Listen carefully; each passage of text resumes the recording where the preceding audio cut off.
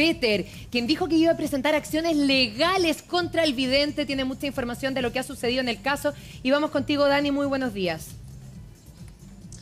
Muy buenos días a todos. Les quiero comentar que, claro, se cumplen 54 días desde que Fernanda desapareció. En 16 días más ella debería dar a luz. Es por eso que la preocupación, la incertidumbre y el temor de dónde, de no saber dónde está ella, aumenta tanto en sus más cercanos como en sus familiares y también sus amigos. Tal como tú decías, Mari, nosotros ayer pudimos conversar con Peter. Él nos comentó acerca de la relación que mantiene hoy en día con la familia, con Fernanda, eh, todo el tema de la investigación, la relación que mantiene con Pedí y Carabineros pero también le preguntamos por este pequeño conflicto que hubo con el vidente, el que supuestamente habría revelado una conversación eh, media secreta, pero que, por ejemplo, dijo no haber estado enamorado, que había sido desplazado de la investigación. Nosotros pudimos conversar con él, se refirió a esto y se lo queremos mostrar en el siguiente informe.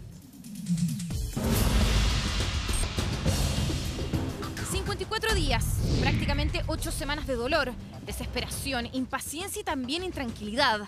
Esas son las sensaciones que hoy inundan a los cercanos y familiares de Fernanda Damaris Maciel Correa, la joven de 21 años que está a punto de dar a luz y que lamentablemente desapareció de la faz de la Tierra el pasado 10 de febrero.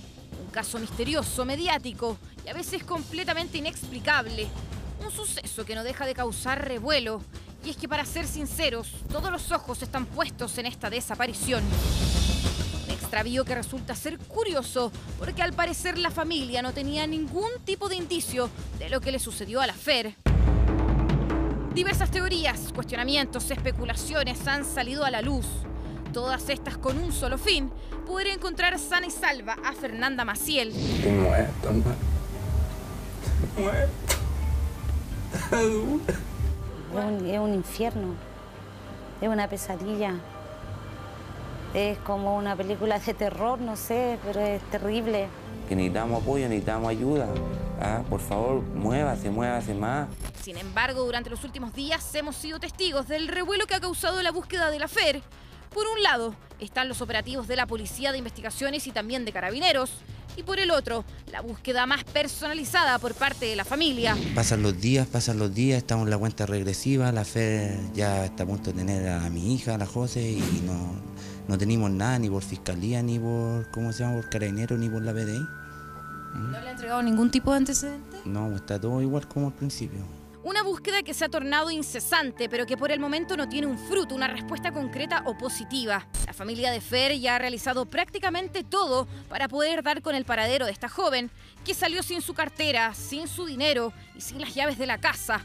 Lo único que llevó en sus manos era su celular. Incluso la familia ha acudido a diferentes mediums psíquicos y profesionales que dicen ser videntes. Esto como último recurso para poder hallar algo, alguna señal de la FER. Por un lado, la mamá de Fernanda siempre se ha opuesto a pedir ayuda a estos supuestos videntes, pero no por eso se niega a recibirlos. Dice que por una cosa de respeto. Incluso su hija Valentina hace un llamado a que ellos deben hacerse responsables por los dichos que comunican en los medios. Yo no creo en los videntes. ¿Por qué no creo en los videntes? Porque yo creo en Dios, ¿no?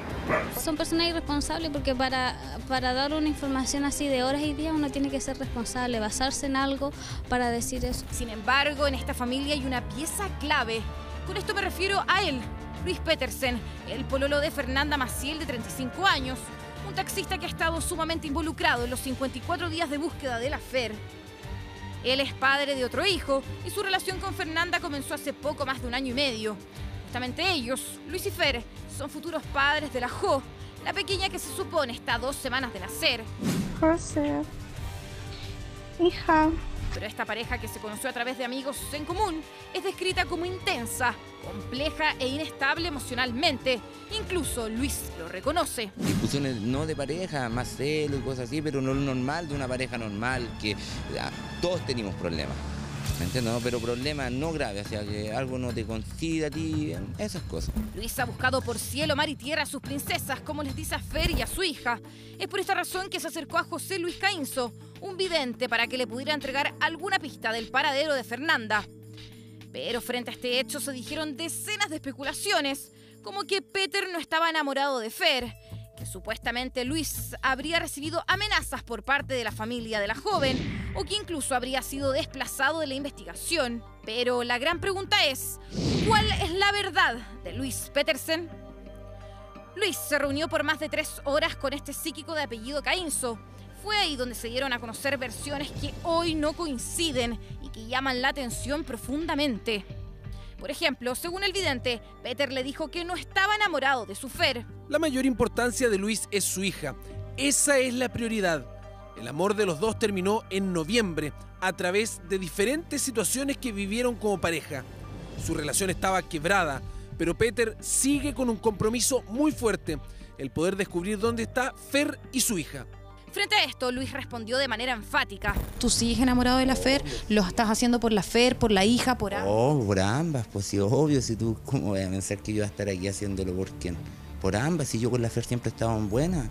El día viernes ella estuvo acá, yo te muestro una boleta cuando ella vino a dejarle las dos chaquetas a mi hija. Este tipo de contradicciones son las que se fueron reflejando poco a poco, porque según Peter, todo lo que le dijo el vidente en televisión es absolutamente falso. Es un chanta, que dijo que yo lo autoricé y todo eso, es un chanta.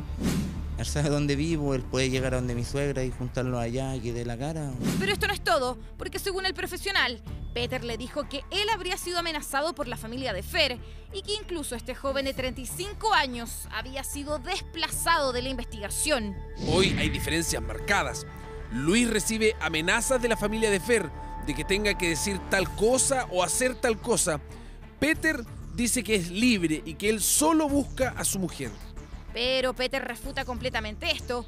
Aclara que jamás ha recibido ningún tipo de amenaza desde los seres más queridos de su princesa. ¿Has recibido amenazas? No, nunca, nunca.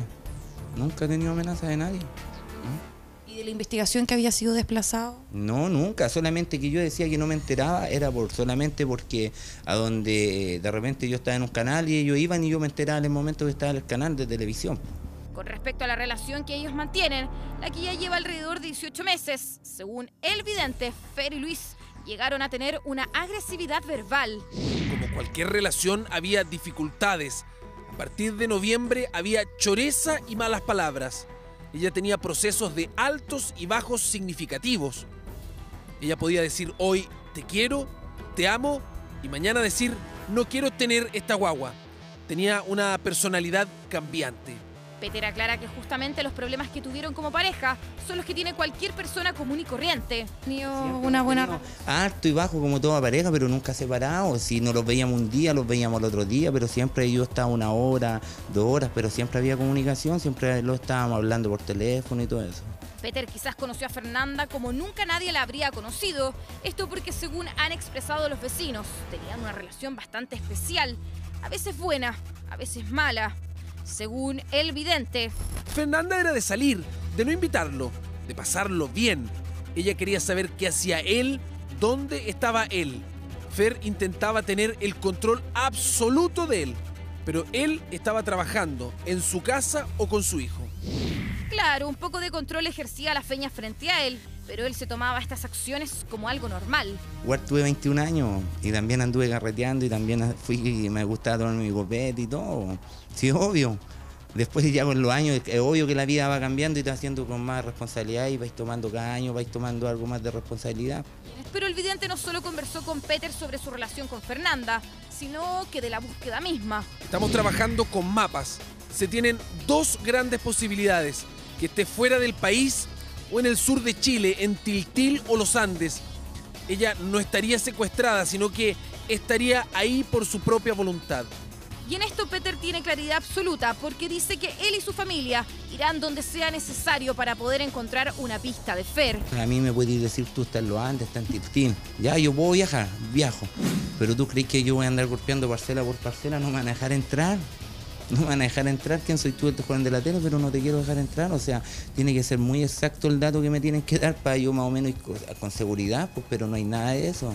Es así como esta guerra se ha desatado entre Luis Petersen y José Luis Caínzo, porque las versiones son contradictorias. Porque el pololo de Fer dice que fue engañado y estafado y que todo lo dicho por el medium no es real. Por el momento Luis Petersen no descarta en querellarse frente al medium. Sin embargo, este acto hoy no es su prioridad. Sino que mantiene la fe y la esperanza para poder encontrarla. Ese es su enfoque. Por ahora queda mantener la ilusión, esto porque ya se cumplen 54 días desde que Fer desapareció. En 16 días más la joven debería dar a luz, por lo que el hecho de que ella pudiera asistir a un consultorio o a un centro hospitalario es la única esperanza que su familia tiene para poder localizarla. Claro, justamente como revisamos en la nota, nosotros pudimos conversar con Peter, quien, claro, nos contaba que se juntó con un vidente, José Luis Caínzo, durante tres horas. Supuestamente este vidente dijo distintas cosas que han causado una serie de especulaciones. Por ejemplo, que él no estaría enamorado de Fer, que había sido desligado de la investigación y que incluso había recibido amenazas por parte de la familia. Nosotros conversamos con él también a largo rato por fuera de cámara y nos comentó que esto es absolutamente falso y que incluso se va a querellar contra este vidente. ¿Por qué? Por todas las falsedades que ha dicho. Y justamente estamos aquí con Cristian, amigo íntimo de la familia que conoce hace muchos años a la mamá de Fernanda, Paola, y él me comentaba también un ratito que ayer en la tarde Peter se habría acercado a la casa. Muy buenos días, muchas gracias por estar con nosotros. ¿Es así o no es así? Tú dijiste que habían llegado un par de minutos ayer, que vino a buscar a Paola, a Valentina y rápidamente se fueron. Eh, sí, pero no sé qué contexto habrán venido. Después vino Peter en la tarde, al rato después, y ahí estuvieron hasta como a las 9 de la noche. Pues vino a conversar con ellos. Claro, pero la relación al menos se ve bien. O sea, yo ayer conversaba con Peter y en ningún momento había tenido un conflicto con la familia. Ah, no, no, con la familia ni uno. No he tenido conflicto con la familia porque todo lo que habló este tipo era mentira, o sea, no, no venían al caso por lo demás. Así que, no, buena relación con ellos. De hecho, Valentina lo dijo, la Paola lo ha dicho, que no tiene ningún problema con el Peter. Es por eso que nosotros queremos conocer en detalle qué fue lo que dijo Peter acerca de estas amenazas, acerca de, este, de, eh, que lo habían desligado de la investigación. Así es, Cristian. Yo, eh, Dani, ¿se está escuchando, Cristian? Sí, Cristian, muy buenos días. Gracias por conversar con nosotros. Quiero preguntar, que se vaya a querellar contra el vidente, ¿te parece bien o te parece una exageración? Eh, bien, me parece una exageración, pérdida de tiempo, porque no viene al caso lo que haya dicho. Acá están todos enfocados en el asunto de buscar a Fernanda y lo que se habla del vidente es lo que dijo o no dijo ya pasa a segundo plano. Pero él está en todo su derecho de, de acreditarse por los dichos, porque aparte que ha, como se dice, se desvía la investigación con todo esto, entonces ya pasa a farandulizar el, el asunto y no es la idea. Cristian tiene toda la razón. ¿Cómo estás, Cristian? Muy buenos días. Te habla la María Luisa Godoy. Tiene toda la razón María. en lo que está pasando porque estos son casos tan terribles que la energía probablemente tiene que estar focalizada solo en encontrar en Fer- a Fernanda. Entonces, ¿esta querella sería ahora en el corto plazo después de que todo esto pase? Eh, no tengo idea sobre ese tema porque yo no he hablado con Peter ni con Paola ni con nadie sobre el asunto de la querella, me vengo a enterar ahora. Bueno, Bueno, si ellos lo van a hacer, no, yo creo que va a ser después que pase todo esto. Bueno, justamente. Claro, aclarar que nosotros pudimos conversar con Peter y él nos dijo que la querella la iba a realizar una vez que esto eh, se solucionara de alguna forma. Es decir, se pudiese conocer algún detalle o alguna noticia de Fernanda. Pero no este momento porque, claro, los ánimos están bien levantados, hay mucha preocupación y también incertidumbre y hoy el foco principal es la feña. Escuchemos justamente qué es lo que dice Peter con respecto al evidente. Atención. No lo contacté, él me contactó a mí, él me mandó los mensajes y todo. ¿Mm? Y yo me acerqué a él, pues él me invitó a su departamento y yo fui. ¿Cuánto rato estuviste? Como tres horas, pero fue engañado porque yo a la hora que hubiese sabido que era así no hubiese ido. Cuando salgo de la casa de él está un programa de televisión que él mismo trabaja ahí.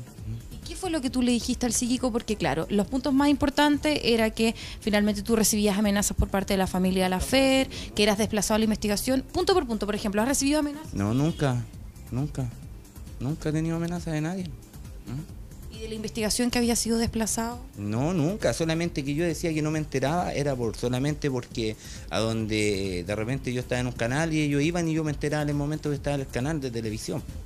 ¿Mm? Por Que eso. no te contaban detalles de la investigación. O sea, no, no es que no me contaban detalles, lo que pasa es que yo estaba en otro lado. Entonces después me enteraba cuando estaba en el otro lado y decían noticias de último minuto y me, me iba dando cuenta que estaban en otro lado. Pero era eso, siempre estamos comunicándolo. Hay días que yo no he ido porque también tengo cosas que hacer. Pero ha sido por cosas puntuales nomás, así. Trabajo. Por tra- o sea, no por trabajo yo que ando trabajando, o sea, cosas que tengo que hacer en mi casa, cosas de que tengo que reparar mi vehículo y cosas así. Y también momentos que yo quiero estar solo y pensar. Claro, Peter dice que el- la verdad es que el- todo lo que dice el evidente es eh, nada que ver con lo que ellos eh, realmente conversaron y por eso se, se va, se va a querellar. Pero justamente. entiendo, Daniela, y corrígeme, eh, Peter tiene la sensación de que esto fue todo algo planificado previamente por el vidente, porque él se acerca a Peter, lo, lo cita en su Lo despacho, usó. lo usó al parecer para tener notoriedad en el programa en el que trabaja o aparecer en los medios de comunicación. ¿Te dio esa sensación a ti también, Daniela? Claro, tal como nos contaba Peter, esto habría estado absolutamente planificado. ¿Por qué? Porque hay distintos videntes que se han acercado a Peter para ofrecerle ayuda y entregarle alguna pista del paradero de Fernanda. El tema es que él habría llegado a su casa a ofrecerle esa ayuda. Mira. y es así como Peter le da permiso porque él cree en este tipo de cosas. Finalmente, vidente entra, están tres horas conversando, pero una vez que termina esta conversación, Peter sale de la casa y supuestamente había un programa de televisión de otro canal esperando para grabar a José Luis Caínzo. Eso según lo que revela Peter. Bueno, Claro, es un montaje, aquí, como dice él. claro, Ahora, a pero nosotros cambia aquí la en la, situación. en la declaración de Peter recién esto es escuchamos novedoso. cómo descartaba que la familia lo hubiera amenazado, porque se acuerdan de que Paola desde un comienzo lo ha defendido, incluso en el momento mucho. cuando tú conversaste con él, Cristian, y él era uno de los principales sospechosos al comienzo de la investigación, ella lo defendió férreamente, entonces descarta la amenaza. Exactamente. eh, y Daniela, y según lo que tú conversaste con, eh, con Peter, él ahora se cerraría a la posibilidad de ayuda de otros videntes, por ejemplo, basado en esto. No, pa- para nada, para nada. Le preguntamos eso, dijo que no, porque finalmente él iba a recibir todo tipo de recursos que llegara a su casa. Ya. Sean videntes, sean personas, por ejemplo, que vean el tarot. En todos esos sentidos, él iba a abrir las puertas de su casa, Claro. todo para encontrar alguna pista. Si contribuye a la búsqueda, claro, pero a él lo que le ofende es que haya dicho que no estaba enamorado de Fernanda y por ahí va el tema de la querella. Lo revisamos ahora, mira. Eh, eso de que decía que no estaba enamorado, tú sigues enamorado de la Fer, lo estás haciendo por la Fer, por la hija, por ambos. Oh, por ambas, pues sí, obvio, si tú, ¿cómo voy a pensar que yo voy a estar aquí haciéndolo por quién?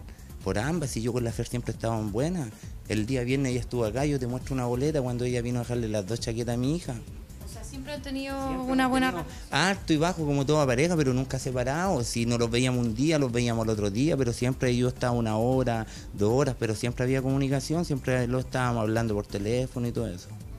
Claro, porque ella decía finalmente que existían estos conflictos o estas peleas que también la misma Pau nos comentaba, pero que finalmente son discusiones de parejas que se dan todos los días, no es algo Yo puntual. creo que hasta tú, aquí el camarógrafo, todos tenemos, tenemos alto y bajo. O sea, ahora se está ventilando esto porque, claro, que una búsqueda y preguntan que cómo era la relación yo con ella, pero todos teníamos. Y, adem- y además lo que puede decir un vidente siempre va a ser especulación. Uno tiende a escucharlo cuando hay una persona perdida, porque uno dice, bueno, ¿y qué pasará? A lo mejor me da un dato. Pero siempre lo que dice un vidente usa en especulación y uno tiene que saber cómo Claro, usar uno- esa información. Uno quiere aferrarse a algo, por lo Claro, menos. pero ¿ah? nada es Claro. certeza. O sea, el tema del amor, si no es amor, si va a estar, si no hay, si hay un pero canal, es que el hay un vidente canal. afirma, afirmaba que Peter le había dicho de que no estaba enamorado de O sea, él aseveraba de que eso habría ocurrido. Preguntémosle a Cristian, ¿te parece, es- Cristian, eh, justamente tú que lo conoces muy bien a la, a la familia, ¿qué podrías decirnos de la relación de Peter con, eh, con Fernanda?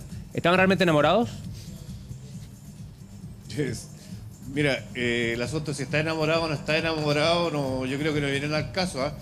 Pero sí, ellos tienen una muy buena relación de cariño, de discusiones como pareja, pero nada más Pero- eso. O sea, Peter ha demostrado todo este tiempo eh, de que estaba perdida la Fer, de su amor en salir a buscarla, recorrer todos los puntos de Santiago.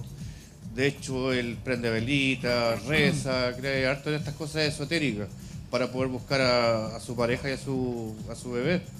Bueno, primero Pero nosotros... que se diga que él no estaba enamorado o que ya no quería estar con la Fernanda, No es tema. no vienen al caso. Bueno, No viene el caso, No, no es por tema, lo es el demás, tema de la uno, Fernanda. el único que puede decir si está enamorado es él y él en todo minuto ha dicho, te dijo a ti, Cristian, Sí. le dijo ayer a la Dani que efectivamente sí está enamorado, nadie tiene por qué juzgar eso además.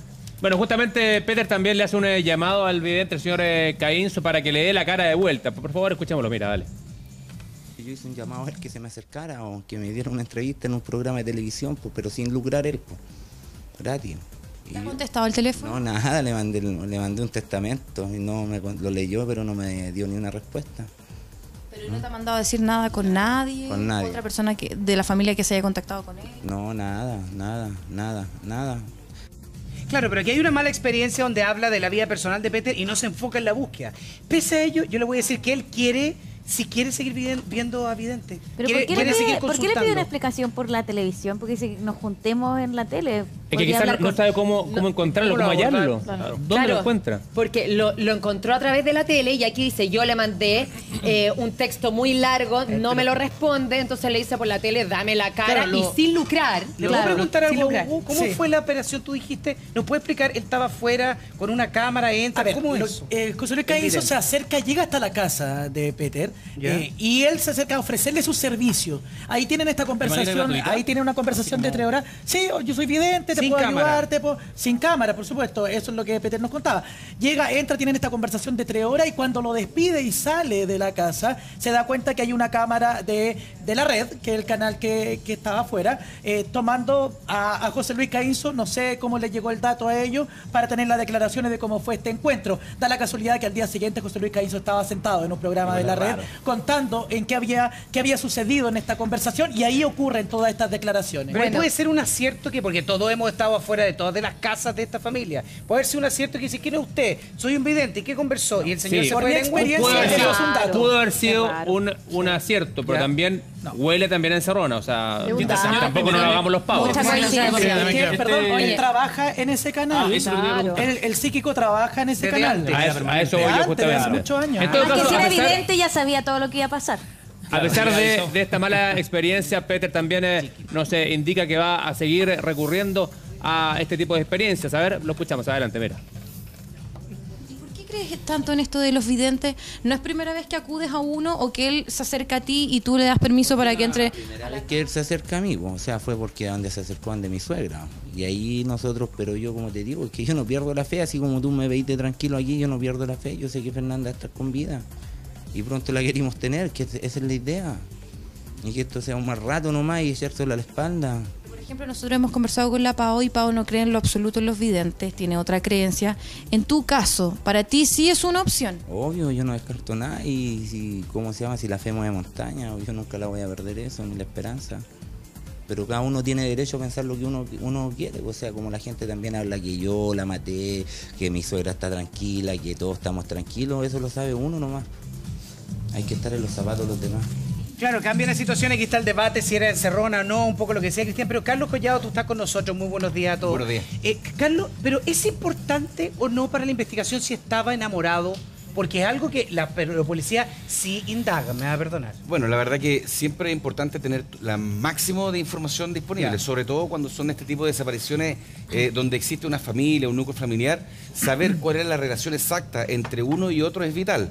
Eh, tenemos el caso muy próximo de la señora Arregui, por ejemplo. Sí. Eh, debimos saber qué tipo de relación tenían entre ellos como matrimonio. Tenemos el caso en el sur también, cuando... O sea, eh, es una arista ver si tenían una buena relación o mala relación. Exactamente, está dentro de la información que yo mm. necesito saber como investigador. Claro, eh, Dani, tú también tienes más información porque Peter te dijo y, y señaló que estaba dispuesto a todo por encontrar a Fernanda, pero pidió que por favor le entregaran datos concretos y no despistaran. Tal cual como tú lo dices, Mari. ¿Por qué? Porque a él le llegan todos los días pistas o direcciones donde podría estar Fernanda pero el problema está en que finalmente él va al lugar. Por ejemplo, por dar un ejemplo, ayer me llamó a las 12 de la noche diciendo que le había llegado una pista de que Fer podría haber estado eh, cerca de San Bernardo. Y él es como toma su auto y va a dar vueltas por ese lugar, pero finalmente puede estar 2, 3, 4, 5 horas y no encuentra absolutamente nada. Entonces justamente hace el llamado a que le lleguen comentarios, le lleguen pistas, pero que sean verídicas, algo que sea más certero. Pero esta búsqueda que él hace, ¿la hace con la PDI, la hace con Carabineros? O él va solo a buscarla a donde le dicen? No, va solo. Va solo porque PDI tiene su investigación por su lado, Carabineros por el otro y la familia eh, tiene su propia organización. El tema es que él me contaba que en muchas ocasiones, como Valentina tiene que estar con su familia, eh, Paola tiene que estar con la almendra, la hija más pequeña, él tiene que ir solo, pero él no le molesta. Él lo único que quiere y su único objetivo ahora es encontrar a la Fer, cueste lo que cueste. Oye, eh, hay una cosa que me gustaría preguntarle a Carlos como experto en esta materia. Carlos se ha hablado siempre de Chile, todo norte, sur, lo que va a decir Peter. La posibilidad de que haya salido del país a través de un paso fronterizo no habilitado, ¿esa cosa también está dentro de las aristas de la policía? Eh, siempre, siempre está. Eh, es difícil poder eh, sacarla por un paso fronterizo no habilitado, no imposible, pero sí es difícil, dada la, la condición física que ella tiene. Ahora, sí es interesante lo que, lo que usted señalaba recién con respecto a la información que normalmente se entrega en este tipo de casos yo pienso, dentro de lo que yo he visto y he comentado con algunos de mis colegas y conocidos, que esta investigación sigue siendo relativamente limpia limpia en el sentido de que no llega tanta información y no hay tanta arista que distraiga eh, la investigación policial como pasa con el caso. hasta cuando empiezan a llegar pistas falsas como le llegó a mm. Pete. Tengo entendido que los videntes llegan hasta la casa de Paola. Te quiero preguntar a ti, Cristian, y Dani, que han sido testigos de eso, pero antes, Peter habla sobre estas pistas falsas que le han llegado y muchas, miren. En relación, por ejemplo, a las pistas de que el vidente también dijo que o podía estar fuera del país o en el sur de Chile, en Tiltil, los Andes. ¿Han buscado ahí? ¿Tú sabes si las policías han dedicado su tiempo en buscarla ahí? que lo que sucede, te vuelvo a explicar, o sea, a mí me puedes decir tú estás en los Andes, estás en Tiltil. Ya, yo puedo viajar, viajo. Pero tú crees que yo voy a andar golpeando parcela por parcela, no me van a dejar entrar no me van a dejar entrar, quién soy tú, el Juan de la tele, pero no te quiero dejar entrar. O sea, tiene que ser muy exacto el dato que me tienen que dar para yo más o menos ir con, seguridad, pues, pero no hay nada de eso. Claro, pero llegan hasta la casa, Daniela y Cristian, llegan a la casa de Paola también a tocarle el timbre, a decirle, oiga, ¿sabe qué? Tengo un... ¿Llegan con dibujos, Dani?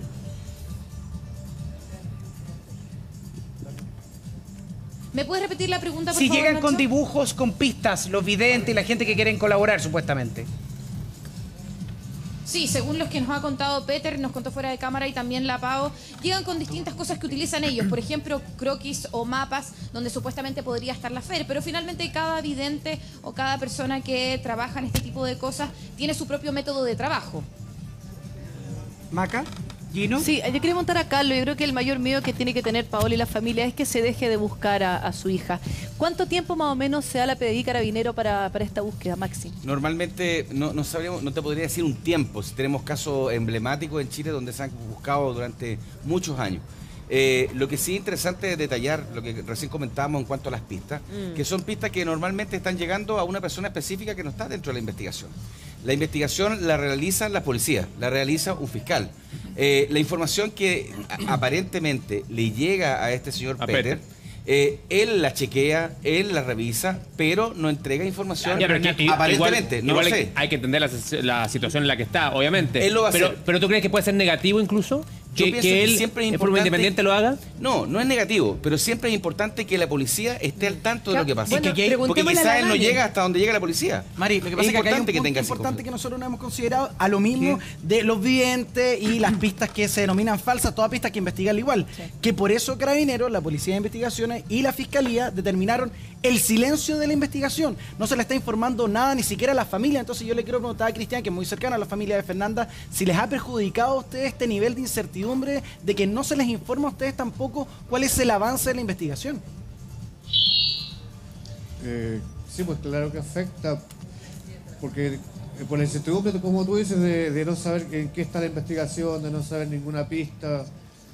Eh, entonces, como las policías están herméticas en el caso, también se ha determinado no hablar de, temas que no corresponden de la, de la investigación. Cristian, esperemos un segundo.